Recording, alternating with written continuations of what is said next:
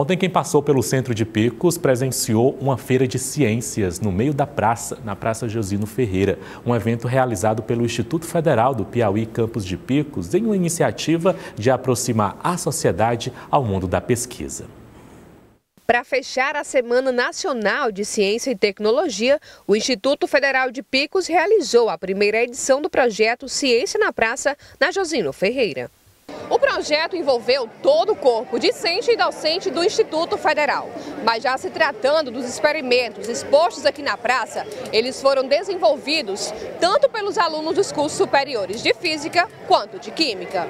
Quem está dentro do, do do ambiente científico e quem está fora do ambiente científico sente a necessidade, querendo ou não, da falta de divulgação de ciência.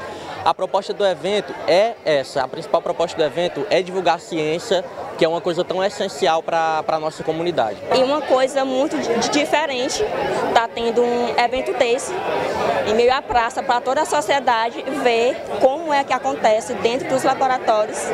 Além dos experimentos como derreter o isopor com acetona e diversos outros, teve ainda exposição de arte e apresentação cultural feita por um ex-aluno do Instituto.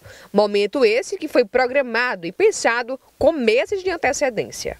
Nós temos um stand para os alunos de física apresentar experimentos de física e um para os alunos de química apresentar os, stand, os experimentos de química.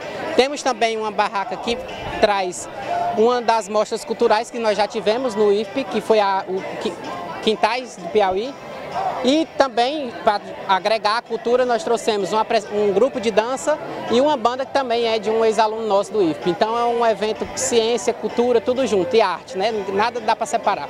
O objetivo do evento é mobilizar a população em torno da importância da ciência como ferramenta para a geração de valor, inovação, soluções para os desafios, além de permitir a inclusão social e melhoria da qualidade de vida. Essa é a primeira edição, nós criamos uma logo e eu espero levar esse projeto adiante enquanto der certo, né?